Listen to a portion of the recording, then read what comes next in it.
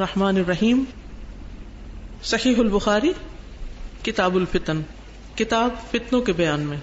باب ما جاء فی قول اللہ تعالی، واتقوا فتنة لا تصيبن الذين ظلموا منكم خاصة وما كان النبي صلی اللہ علیہ وسلم يحذر من الفتن۔ باب اس بات کا بیان جو اللہ تعالی کے قول میں آیا ہے، اور اس فتنے سے بچو جو ظالموں کو خاص نہیں پہنچتا، بلکہ ظالم، غیر ظالم، عام، خاص، سب اس میں پس جاتے ہیں۔ اور نبی صلی اللہ علیہ وسلم جو اپنی امت کو فتنوں سے ڈراتے تھے۔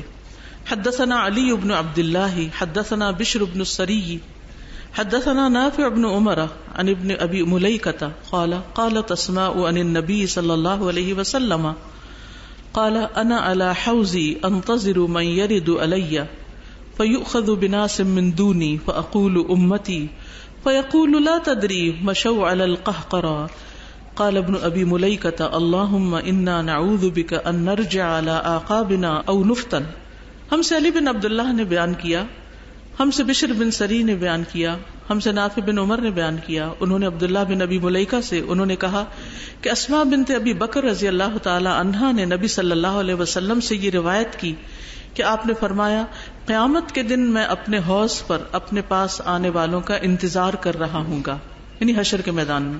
بس کچھ لوگ میرے سامنے سے پکڑ لیے جائیں گے۔ یعنی وہ آ رہے ہوں گے اور راستے میں ان کو گرفتار کر لیا جائے گا۔ تو میں کہوں گا، یہ تو میری امت کے لوگ ہیں۔ وہ کہیں گے کہ آپ نہیں جانتے۔ نبی صلی اللہ علیہ وسلم سے کہا جائے گا کہ آپ نہیں جانتے۔ یہ لوگ الٹے پاؤں پھر گئے تھے۔ یعنی بظاہر اپنے آپ کو مسلمان کہتے تھے، لیکن الٹے پاؤں پھر گئے تھے۔ یعنی فتنوں کا شکار ہو گئے تھے۔ ابن ابھی ملیکا کہتے ہیں، اے اللہ، بے شک ہم تیری پناہ چاہتے ہیں۔ اس بات سے کہ ہم اپنی ایڑیوں کے بل لوٹ جائیں یا ہم فتنے میں مبتلا کیے جائیں۔ یعنی اپنا ایمان کھو بیٹھے یا اپنے دین کا نقصان کر بیٹھے نہیں یعنی بعض اوقات انسان اس پر مطمئن ہوتا ہے کہ میں نے تو لا الہ الا اللہ پڑھ رکھا ہے، مجھے تو کوئی چیز نقصان نہیں دیتی۔ لیکن باوجود اس کے کہ وہ زبان سے ایک بات کا اقرار کرتا ہے، لیکن عمل جب اس کے تصدیق کی باری آتی ہے تو وہ اس میں کامیاب نہیں ہوتا کیونکہ وہ فتنوں میں گرفتار ہو چکا ہوتا ہے۔ اب یہ فتنے کیا ہیں؟ اگلی حدیث اس کی وضاحت کرتی ہے۔ کس قسم کے فتنے میں پڑ گئے؟ حدثنا موسى بن اسماعیل، حدثنا ابو عوانة عن مغیرة عن ابی وائل قال قال عبد الله قال النبي صلى الله عليه وسلم انا فرطكم على الحوز فليرفع ان الي رجال منكم حتى اذا اهويت لانابلهم اختلجوا دوني فاقول اي رب اصحابي فيقول لا تدري ما احدثوا بعدك ہم سے موسیٰ بن اسماعیل نے بیان کیا یعنی کس سے؟ امام بخاری سے۔ امام بخاری کو ان کے استاد موسیٰ بن اسماعیل نے بتایا۔ انہیں ان کے استاد ابو اوانا نے بتایا، کہا ہم سے ابو اوانا نے بیان کیا۔ ابو اوانا نے مغیرہ سے۔ مغیرہ نے ابو وائل سے، ابو وائل نے عبداللہ بن مسعود سے۔ اور عبداللہ بن مسعود نے کہا، نبی صلی اللہ علیہ وسلم نے فرمایا، میں حوض کوثر پر تم لوگوں کا پیش خیمہ ہوگا یعنی پہلے پہنچا ہوا ہوگا تو تم میں سے کچھ لوگ میری طرف اٹھائے جائیں گے، لائے جائیں گے۔ یہاں تک کہ جب میں ان کو پانی دینے کے لیے جھکوں گا تو وہ مجھ سے ہٹا دیے جائیں گے۔ یعنی اتنے قریب آ جائیں گے کہ بس آپ پانی دینے ہی لگیں گے کہ ان کو پیچھے کر دیا جائے گا تکیل دیا جائے گا۔ تو میں عرض کروں گا، اے میرے رب، یہ تو میرے ساتھی ہیں۔ تو وہ فرمائے گا، تم نہیں جانتے جو انہوں نے نئی باتیں تمہارے بعد نکالی۔ تو فتنا کیا ہے یہاں؟ دین میں نئی باتیں نکالنا بدعت کو رواج دینا۔ وہ چیزیں جو عقیدے اور عبادت سے متعلق ہیں، جو قرآن و سنت سے ثابت نہیں ہے اپنے پاس سے ان کو بطور ثواب سمجھ کے کرنا، یہ دین میں نئی نئی باتیں نکالنا ہے۔ جہاں تک دنیاوی امور کا تعلق ہے دنیاوی کام کاج ہیں، جیسے اونٹ کی بجائے گاڑی پہ بیٹھ جانا یا اور اسی طرح کی کچھ چیزوں کا استعمال جو ہے، تو یہ بدت نہیں ہوتا، کیونکہ آپ صلی اللہ علیہ وسلم نے فرمایا تھا ان تم عالم بھی امور دنیا کو تم اپنی دنیا کے امور کو زیادہ بہتر جانتے ہو۔ تو بدت یا نئی چیز کا استعمال دنیاوی معاملات میں بدت نہیں ہوتا۔ بدت کیا ہوتی ہے؟ دین کے معاملے میں، عبادات میں، عقیدہ میں۔ تیسری حدیث ہے، حدثنا یحیی بن بکیر حدثنا يعقوب بن عبد الرحمن عن أبي حازم قال سمعت سهل بن سعد يقول سمعت النبي صلى الله عليه وسلم يقول أنا فرطكم على الحوز من ورده شرب منه ومن شرب منه لم يظمأ بعده أبدا. لَيَرِدَنَّ عَلَيَّ أَقْوَامٌ عَارِفُهُمْ وَيَعْرِفُونَنِي ثُمَّ يُحَالُ بَيْنِي وَبَيْنَهُمْ. قال ابو حازم، فسمعني النعمان بن ابي اياش وانا احدثهم هذا، فقال، هكذا سمعت سهلا؟ فقلت نعم. قال وانا اشهد على ابي سعيد الخدري، لسمعته يزيد فيه. قال انهم مني. فيقال انك لا تدري ما بدلوا بعدك. فاقول سحقا سحقا لمن بدل بعدي. ہم سے یہی ابن بکیر نے بیان کیا، کہا، ہم سے یعقوب بن عبد الرحمان نے بیان کیا انہوں نے ابو حازم سے کہا، میں نے سہل بن سعد سے کہتے سنا، اور یہ صحابی ہیں، سہل بن سعد رضی اللہ عنہ۔ وہ کہتے ہیں کہ میں نے نبی صلی اللہ علیہ وسلم سے سنا، آپ فرماتے تھے، میں حوض کوثر پر تمہارا پیش خیمہ ہوں گا یعنی پہلے جاؤں گا۔ جو شخص وہاں آئے گا، وہ اس میں سے پیے گا۔ اور جو اس میں سے پیے گا، وہ اس کے بعد کبھی پیاسا نہ ہوگا۔ کچھ لوگ مجھ پر ایسے آئیں گے جن کو میں پہچانتا ہوں گا، اور وہ مجھے پہچانتے ہوں گے۔ پھر مجھ میں اور ان میں آڑ کر دی جائے گی، رکاوٹ ڈال دی جائے گی۔ کہیں آتا ہے پکڑ لیے جائیں گے، کہیں آتا ہے ہٹا دیے جائیں گے، کہیں آتا ہے رکاوٹ ڈال دی جائے گی۔ ابو حازم نے کہا، نعمان بن نبی عیاش نے مجھے سنا کہ میں یہ حدیث لوگوں سے بیان کر رہا تھا۔ پوچھا، کیا تم نے سہل سے یہ حدیث اس طرح سے سنی؟ میں نے کہا ہاں۔ نعمان نے کہا، میں ابو سعید خدری پر گواہ بنتا ہوں۔ البتہ میں نے ان کو سنا تھا۔ وہ اس میں اتنا بڑھاتے تھے، وہ کہتے تھے کہ آپ کہیں گے، بے شک یہ لوگ تو مجھ سے ہیں۔ تو کہا جائے گا، بے شک تم نہیں جانتے، انہوں نے تمہارے بعد کیا کیا دین میں بدل ڈالا۔ بدلو کا لفظ آتا ہے، ایک جگہ احدسو کا آتا ہے۔ تو میں کہوں گا، جس شخص نے میرے بعد دین بدل ڈالا، اس کے لیے دوری ہو دوری ہو۔ دین اصل میں وہی دین ہے جو کتاب و سنت سے ثابت ہے۔ اپنی طرف سے باتیں بنانا اور نئی نئی چیزیں ثواب کے نام پر ایجاد کرنا دین نہیں۔ یعنی یہ سب سے بڑا فتنہ ہے جس کو امام بخاری صاحب نے لائے۔ کیونکہ جب دین ہی خلط ملت کر دیا جائے تو پھر کیا پتا چلے کہ کیا صحیح اور کیا غلط ہے۔ باب قول النبی صلی اللہ علیہ وسلم، سترونی بادی امور تنکرونها وقال عبد اللہ ابن زید قال النبی صلی اللہ علیہ وسلم اسبروا اسبروا حتى تلقونی علی الحوض باب نبی صلی اللہ علیہ وسلم کا فرمانا، ان قریب تم میرے بعد ایسے ایسے کام دیکھو گے جن کو تم برا سمجھو گے۔ اور عبداللہ بن زید نے کہا، نبی صلی اللہ علیہ وسلم نے فرمایا، تم حوض کوثر پر مجھ سے ملنے تک صبر کرتے رہنا۔ یعنی جب ایسی چیزیں دیکھو، تو سب اپنے دین پر جمے رہنا، صبر سے کام لینا، حتیٰ کہ دنیا سے ایمان کے ساتھ رخصت ہو اور نبی صلی اللہ علیہ وسلم کے ہاتھ سے حوض کوثر پر پانی پی سکو۔ حدثنا مسدد، حدثنا يحيى بن سعيد القطان، حدثنا الأعمش، حدثنا زيد بن وهب. قال، سمعت عبد الله قال قال لنا رسول الله صلى الله عليه وسلم انكم سترون بعدي اثرة وامورا تنكرونها. قالوا، فما تأمرنا يا رسول الله؟ قال ادوا اليهم حقهم، وصلوا الله حقكم. ہم سے مسدد نے بیان کیا، ہم سے یحیی ابن سعید قطان نے بیان کیا، کہا، ہم سے آمش نے بیان کیا ہم سے زید بن وحب نے بیان کیا، کہا، میں نے عبداللہ بن مسعود سے سنا۔ انہوں نے کہا، رسول اللہ صلی اللہ علیہ وسلم نے ہم سے فرمایا، ان قریب تم میرے بات دیکھو گے کہ تم پر دوسروں کو ترجیح دی جائے گی، اور ایسے کام جن کو تم برا سمجھو گے۔ یعنی ایسی چیزیں دیکھو گے جن کا تم انکار کرو گے کہ دین کا حصہ نہیں ہے۔ صحابہ نے عرض کیا، تو اللہ کے رسول صلی اللہ علیہ وسلم، آپ ہمیں کیا حکم دیتے ہیں؟ آپ نے فرمایا، ان کو ان کا حق ادا کرو اور تم اپنا حق اللہ سے مانگو۔ یعنی خاص طور پر اگر حکومت وقت کی طرف سے یا امیر وقت کی طرف سے ایسی کوئی چیز آئے تو اس صورت میں انسان اپنا فرض ادا کرتا رہے، اپنی ڈیوٹی پوری کرتا رہے اور اپنا حق اللہ سبحان و تعالیٰ سے مانگے۔ اور اس وجہ سے کہ کوئی میرا حق نہیں دیتا تو میں اس کا حق اس کو نہیں دوں گا فتنا فساد اور بگاڑ پیدا کرے، بغاوت کرے، تو فساد پھیلے گا اس سے زمین میں، یہ درست نہیں۔ تو اس میں بھی ہمیں رہنمائی دی گئی ہے کہ ایسے دور میں پھر انسان کیا کرے، جب اسے اس کا حق نہ مل رہا ہو، اس کے ساتھ انصاف نہ کیا جا رہا ہو، لیکن اس سے اپنے حقوق کا تقاضا کیا جا رہا ہو۔ تو بھی کیا کرنا چاہیے؟ دوسرے کے حقوق ادا کرنے والا بننا چاہیے اور اپنا حق اللہ سے مانگنا چاہیے۔ حدثنا مسدد عن عبد الوارث عن الجعد عن ابي رجاء عن ابن عباس عن النبي صلى الله عليه وسلم قال، من كره من اميره شيئا فليصبر فانه من خرج من السلطان شبرا مات ميتة جاهلية ہم سے مسدد نے بیان کیا، انہوں نے عبد الوارث سے، انہوں نے جاد سے، انہوں نے ابو رجا سے، انہوں نے ابن عباس سے۔ انہوں نے نبی صلی اللہ علیہ وسلم سے کہ آپ صلی اللہ علیہ وسلم نے فرمایا، جو شخص اپنے حاکم کی کوئی بات ناپسند کرے تو اس کو صبر کرنا چاہیے۔ کیونکہ حاکم کی اطاعت سے اگر کوئی بالش برابر بھی باہر نکل جائے یعنی بغاوت کرے، تو وہ جاہلیت کی موت مرا۔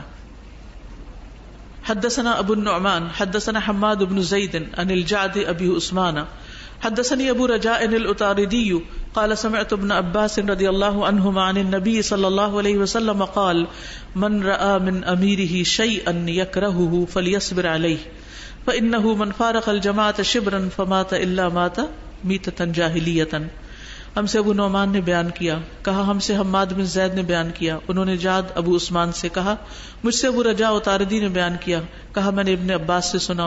انہوں نے نبی صلی اللہ علیہ وسلم سے، آپ صلی اللہ علیہ وسلم نے فرمایا، جو شخص اپنے حاکم میں ایسی بات دیکھے جس کو وہ ناپسند کرتا ہو، تو اسے اس پر صبر کرنا چاہیے، کیونکہ جو بالش بھر بھی جماعت سے جدا ہو گیا، پھر اسی حال میں مرا تو وہ جاہلیت کی موت مرا۔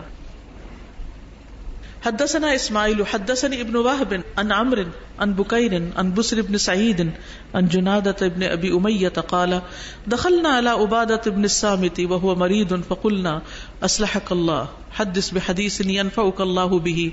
سمعته من النبي صلى الله عليه وسلم قال دعانا النبي صلى الله عليه وسلم فبايعناه. ہم سے اسماعیل نے بیان کیا، مجھ سے ابن وحب نے بیان کیا، انہوں نے امر سے، انہوں نے بکیر سے، انہوں نے بسر بن سعید سے، انہوں نے جنادہ بن ابی امیہ سے۔ انہوں نے کہا، ہم عبادہ بن سامد کے پاس گئے اور وہ بیمار تھے۔ تو ہم نے کہا، اللہ آپ کو سلامت رکھے، ایسی حدیث بیان کرے جو آپ نے نبی صلی اللہ علیہ وسلم سے سنی ہو۔ اللہ آپ کو اس کی وجہ سے فائدہ دے گا۔ انہوں نے کہا للت العقبہ میں نبی صلی اللہ علیہ وسلم نے ہمیں بلایا تو ہم نے آپ سے بیت کی۔ یعنی دین کی خاطر قربانی کرنے پر۔ اور نبی صلی اللہ علیہ وسلم کو مدینہ لانے کے لیے ایک راہ ہموار کرنے پر۔ فقال فيما اخذ علينا ان بايعنا ان السمع والطاعه في منشطنا ومكرهنا واسرنا ويسرنا واثرتنا علينا والا ننازل امر اهله الا ان تروا كفرا بواحا عندكم من الله فيه برهان تو انہوں نے کہا کہ آپ نے ہم سے جس بات پر بیعت لی، ان میں سے یہ بھی تھا کہ ہم ہر حال میں سنیں گے اور اطاعت کریں گے۔ کس کی؟ اپنے امیر کی۔ کیونکہ بہت سے فتنے، فساد اور بہت گڑبڑ کب ہوتی ہے؟ جب کسی ملک کا نظام حکومت بکھرتا ہے اور فتنہ فساد ہوتا ہے۔ تو اس میں نبی صلی اللہ علیہ وسلم نے جس چیز کا حکم دیا اور جس چیز پر انہوں نے بیعت کی تھی، صحابہ نے آپ سے للت القبہ میں، اس میں کیا شکیں شامل تھی کہ ہم ہر حال میں سنیں گے، اطاعت کریں گے، اپنی خوشی کی حالت میں اور اپنی ناخوشی کی حالت میں۔ یعنی جو چیزیں ہمیں پسند ہوں گی ان میں بھی اور جو پسند نہ ہوں گی ان میں بھی۔ اپنی مشکل میں اور آسانی میں، اور اس وقت بھی جب ہم پر دوسروں کو ترجیح دی جائے۔ اور یہ کہ جو شخص حاکم بن جائے، ہم اس سے جھگڑا نہ کریں۔ مگر یہ کہ تم اعلانیہ اس کو کفر کرتے دیکھو۔ یعنی وہ اللہ کا انکار کر رہا ہے رسول کا انکار کر رہا ہے کتاب کا انکار کر رہا ہے دین کا انکار کر رہا ہے پھر اور بات ہے۔ جب تک وہ اپنے آپ کو مسلمان کہتا ہے اور کچھ غلطیاں بھی ہیں اس میں، تو بھی اس کی ایک طرح سے مدد کرو تاکہ وہ اپنی غلطیوں سے باہر نکلے، نہ کہ اس کے خلاف اتنا فساد کھڑا کرو۔ اور یہ کہ جو شخص حاکم بن جائے، ہم اسے جھگڑا نہ کریں، مگر یہ کہ تم اعلانیہ اس کو کفر کرتے دیکھو، تو اللہ کے پاس تم کو دلیل مل جائے گی۔ حدثنا محمد بن ارأرة حدثنا شعبة عن قتادة عن انس بن مالك عن اسيد بن حدير ان رجلا اتى النبي صلى الله عليه وسلم فقال يا رسول الله استعملت فلانا ولم تستعملني قال انكم سترون بعدي اثرة، فاصبروا حتى تلقوني ہم سے محمد بن ارارا نے بیان کیا، ہم سے شعبہ نے بیان کیا، انہوں نے قطادہ سے، انہوں نے انس بن مالک سے، انہوں نے اسید بن حزیر سے کہ ایک شخص نبی صلی اللہ علیہ وسلم کے پاس آیا، کہنے لگا، یا رسول اللہ صلی اللہ علیہ وسلم، آپ نے فلاں شخص کو عامل بنا دیا یعنی اس کو ایک عہدہ دے دیا، حکومت کا گورنر بنا دیا اور مجھے نہیں بنایا۔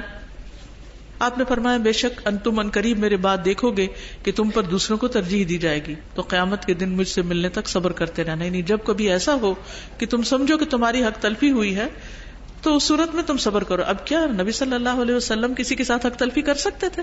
ہرگز بھی نہیں۔ لیکن اس شخص کو یوں معلوم ہوا کہ جیسے اس کو کوئی اہمیت نہیں دی گئی اور دوسرے کو اہمیت دی گئی ہے۔ ایسی غلط فہمیاں بہت دفعہ ایسے ہوتی۔ اب ہوتا کیا ہے؟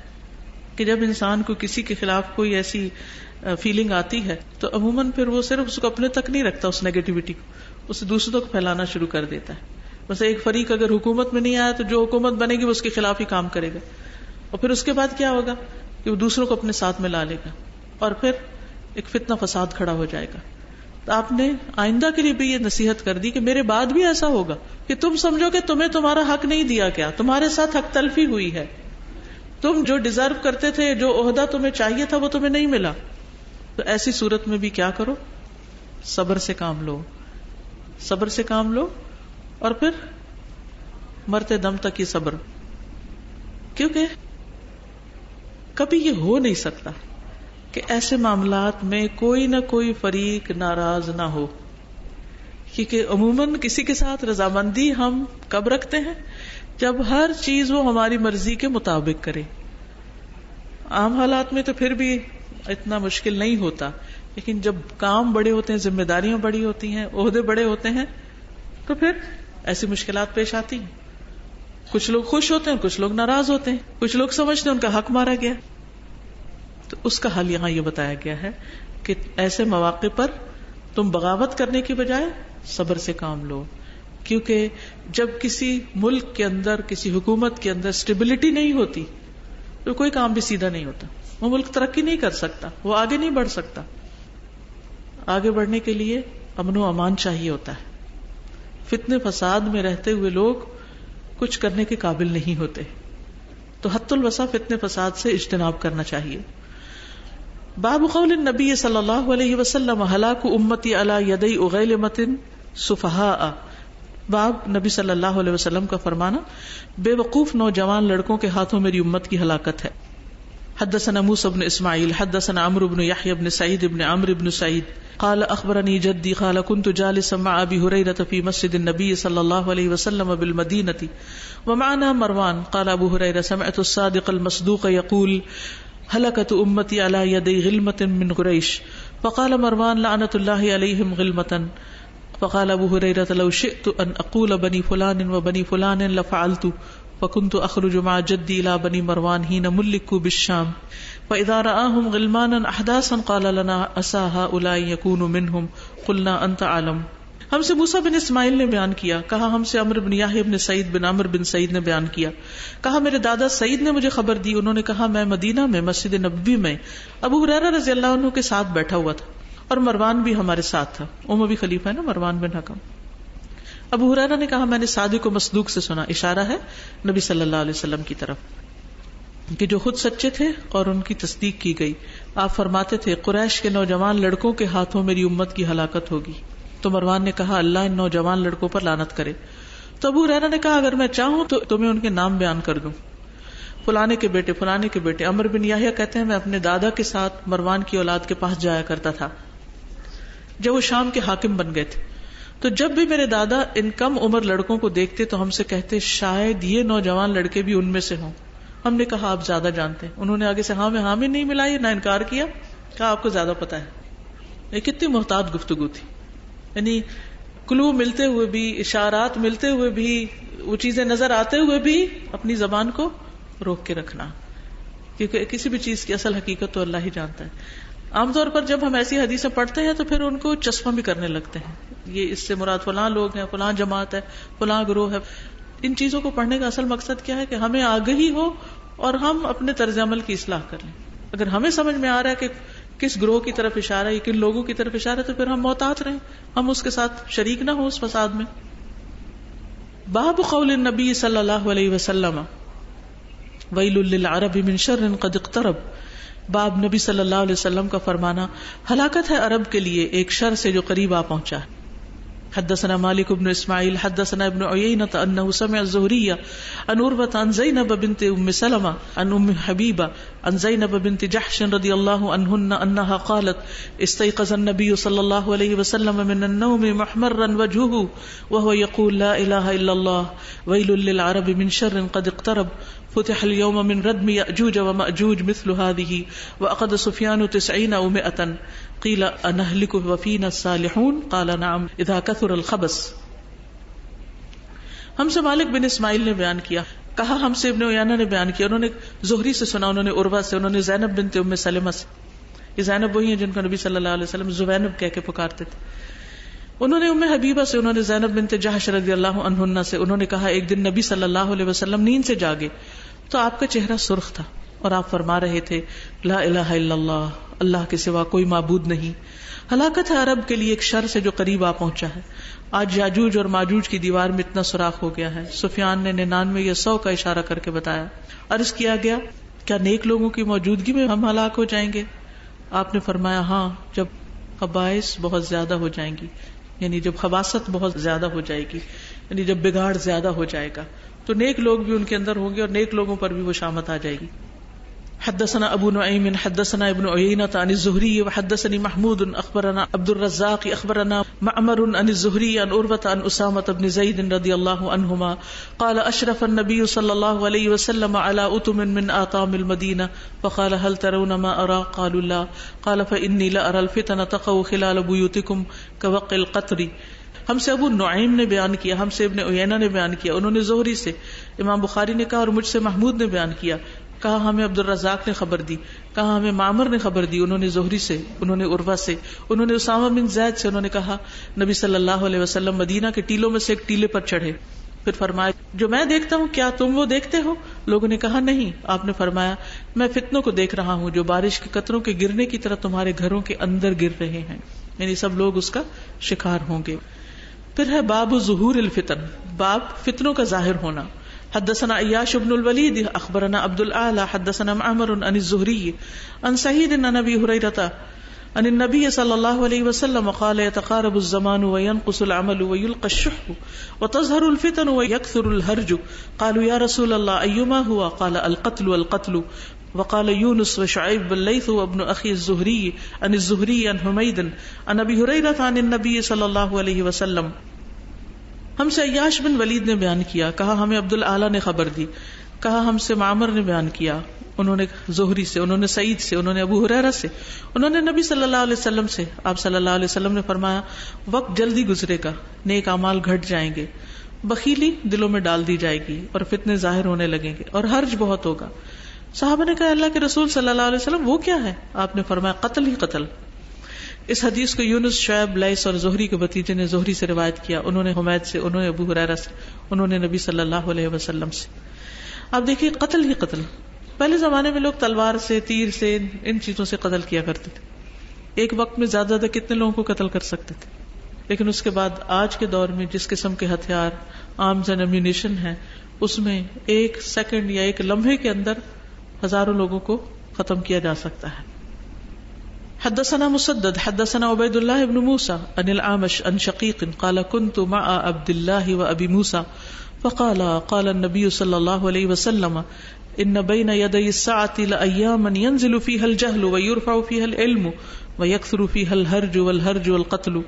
ہم سے مسدد نے بیان کیا، ہم سے عبید اللہ بن موسا نے بیان کیا، انہوں نے عامر سے، انہوں نے شقیق سے۔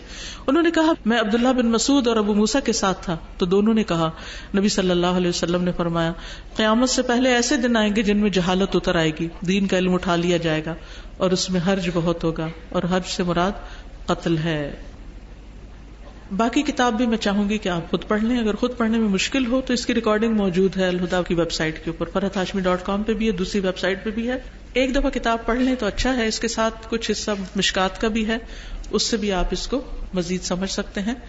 اور پھر خاص طور پر فتنے دجال کے بارے میں ہم سب کو معلوم ہونا چاہیے، کیونکہ اپنی اولادوں کو، نسلوں کو فتنوں سے خبردار کرنا ضروری ہے، تاکہ بچ کے، سنبھل کے صحیح راستے پر چل سکیں۔ کیونکہ انسان جب شر کو پہچانتا ہے، تو پھر جو خیر ہے، اس پر استقامت زیادہ بہتر طور پر آتی ہے۔ اور میں یہ بھی چاہوں گی کہ کم از کم پانچ یا جتنی بھی آپ کتابیں دوسروں میں عام طور پہ بانٹ سکیں رینڈم پیپل کو بھی آپ دے سکتے ہیں۔ چھوٹی سی کتاب ہے، کسی کے بھی پاس ہوگی، کسی کے بھی گھر میں ہوگی، کوئی ایک بات بھی کسی کو سمجھ آئے گی۔ اور پہلے فتنوں کے وضاحت کرنے کے بعد حدیثوں کو پڑھنے کا ایک مقصد یہ بھی تھا کہ خود نبی صلی اللہ علیہ وسلم کی جو الفاظ ہیں اور صحیح حدیث ہیں اور پوری صنعت کے ساتھ یعنی صرف علم میں اضافہ نہ ہو، بلکہ یقین میں بھی اضافہ ہو۔ کیونکہ علم کے ساتھ جب یقین آتا ہے تو اس کے بعد عمل میں آسانی ہو جاتی۔ اور پھر حدیث پڑھنے کی اپنی برکت بھی ہے۔ اس میں بار بار نبی صلی اللہ علیہ وسلم کا نام آتا ہے اور بار بار دروشی پڑھا جاتا ہے۔ ایک دفعہ دروشی پڑھنے سے دس رحمتیں آتی ہیں اور انسان کے لیے آسانیاں ہوتی ہیں۔ تو اللہ تعالیٰ سے دعا ہے کہ اللہ تعالیٰ ہماری آج کی اس کوشش کو قبول فرمائے۔ آپ سب کا آنا، اپنے گھروں کو چھوڑنا دور دور سے سفر کر کے آنا، اللہ تعالیٰ اس سب کو اور جس نے اس محفل کے انعقاد میں جس بھی قسم کا کوئی حصہ لیا اللہ تعالیٰ سب کی کوششیں، محنتیں قبول فرمائے اور ہماری بخشش فرما دے۔ اور ہمیں فتنوں سے محفوظ رکھتے ہوئے ایمان کے ساتھ اس دنیا سے رخصت ہونے کا موقع۔ اللہ تعالیٰ آپ سب سے راضی ہو۔ سبحان اللہ و بحمد کا اشد اللہ اللہ اللہ انت استخر کا و اطوب السلام علیکم و رحمۃ اللہ وبرکاتہ۔